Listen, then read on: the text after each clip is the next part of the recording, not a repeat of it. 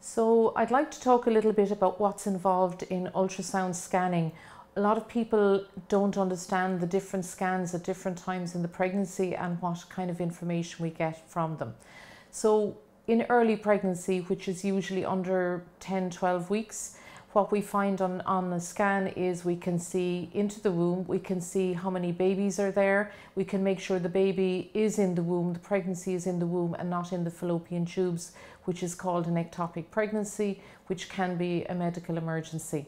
So we can see the babies in the womb, we can see how many babies, we can see that the heartbeats are there, and we can confirm the pregnancy um, gestation by doing measurements called the crown rump length. It's also a time from 10 weeks on that people often choose to do a test called an NIPT test, which is non invasive prenatal testing, where people are screening for Down syndrome, Edwards syndrome, and Patau syndrome.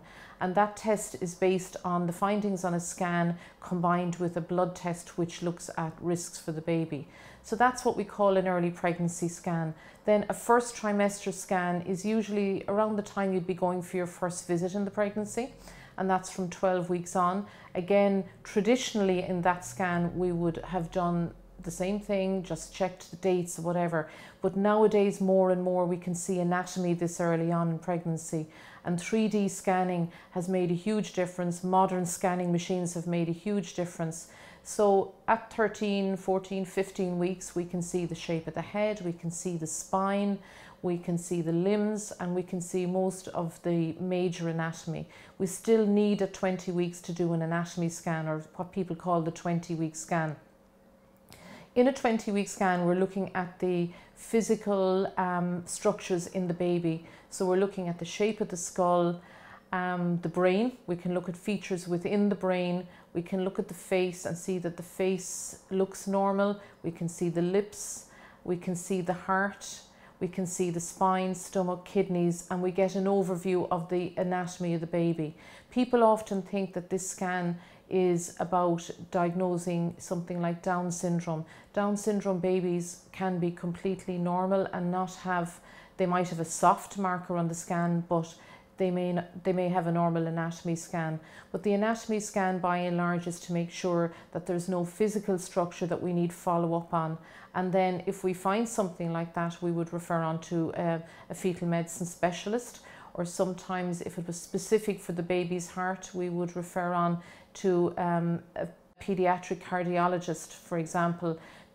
Babies might go, the woman might go to the Coombe in Dublin to be reviewed by the team there that come and work with Crumlin. So the major advantage of an anatomy scan, which is offered routinely to all people in University Hospital Kerry now, is that if there is something that needs to be dealt with at the time of the delivery or that will influence how we manage the delivery, that we know in advance and we can plan. So for example, if a baby had a problem with its heart, then that baby's interest would probably be better served delivering in Dublin if it was going to need surgery immediately afterwards. And the whole important thing about this is that scanning has become so good now that we can pick up so many things we didn't pick up before.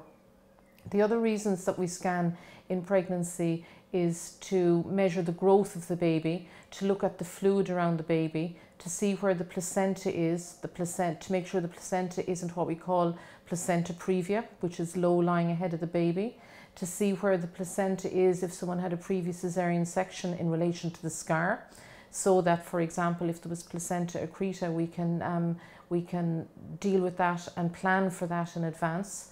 Um, and then looking at the growth of the baby, baby's kind of serial scans to make sure that they're growing steadily. This is particularly important in twins and in diabetic mothers and in women who maybe have a history of having small babies in the past that we need to make sure the babies are growing this time and you can plan delivery around that. And then later on in pregnancy, we look at the fluid around the baby to make sure that the placenta is working okay. And that can be an important scan as you come up to your dates, uh, your due date, or if you're going overdue.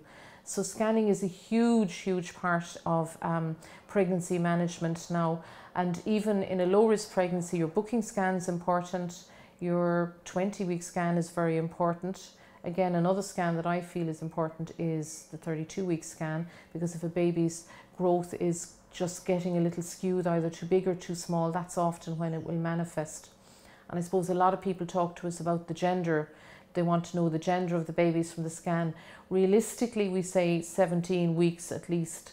Sometimes with 3D, you'll see that a little bit earlier, but by and large, we would say 17 weeks is the earliest you'll see, and you'll hear that result hopefully at the at the 20 week scan. But not all babies actually oblige us but um, usually most of the time we'll manage to find that out. So that's an overview of what um, ultrasound scanning in pregnancy is about. Ultrasound scanning in gynecology is becoming very, very big, and 3D scanning in gynecology is making ultrasound nearly as good as MRI scanning, and in the States, they would say they're almost equivalent for a lot of things. So a lot of our patients who are coming for um, a gynae appointment for heavy periods or fertility or whatever will have a gynae scan almost 90% of the time it's part of the care that we offer them and it can replace maybe going to theatre for hysteroscopy in some cases. It allows us to assess heavy periods, postmenopausal bleeding. So like I say, ultrasound in women's health now is a huge part of what is um, done. Women need to know though that if they're coming for early pregnancy scans or gynae scans, most of the time are transvaginal scans. A transvaginal scan might sound a little bit scary, but for most people, it's actually easier than having a scan with a full bladder at eight or nine weeks. And especially if someone's BMI is a little bit high or if their uterus is tilted backwards, we call that a retroverted uterus, it can be easier to see things on a transvaginal scan.